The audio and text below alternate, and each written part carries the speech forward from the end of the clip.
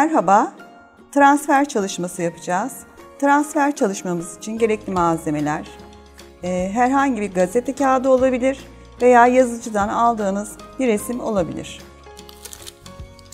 E, Kihora transfer kağıdımız ve uygulama yapacağımız çantamız.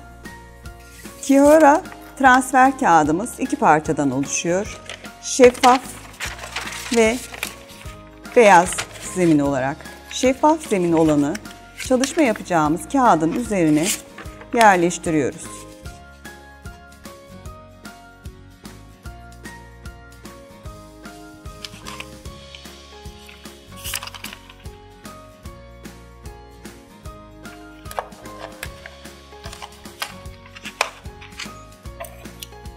Çalışma yapacağımız kağıdımızın ölçülerinde Kihora transfer kağıdımızı kesiyoruz.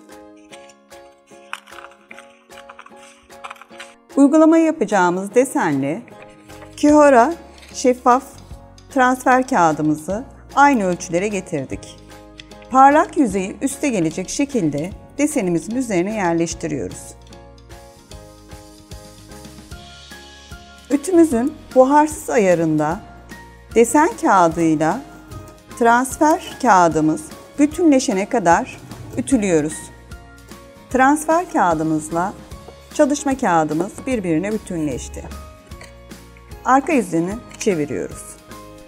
İkinci kağıdımızın parlak yüzeyi alta gelecek şekilde resmimizin üzerine yerleştiriyoruz.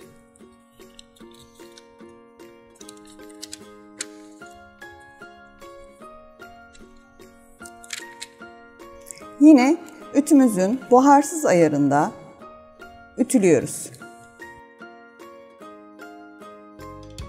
Kağıtlarımız birbirine bütünleştiğinde ütüleme işlemine son veriyoruz. Ve soğumasını bekliyoruz.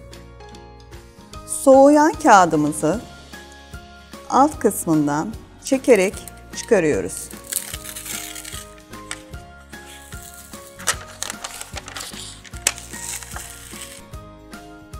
Desenimizi çantamızın üzerine yerleştiriyoruz.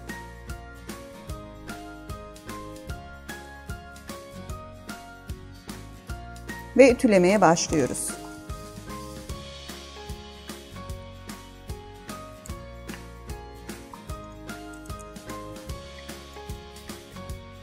Kumaşla desenimiz bütünleşinceye kadar ütülemeye devam ediyoruz. Desenimizle kumaşımız bütünleşince ütüleme işlemini bitiriyoruz. Ve soğumasını bekliyoruz.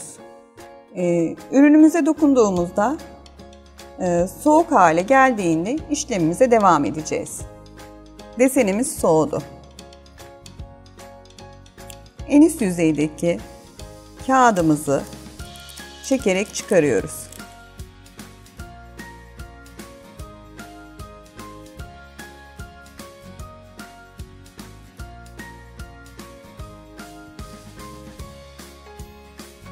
Çalışmamız tamamlandı.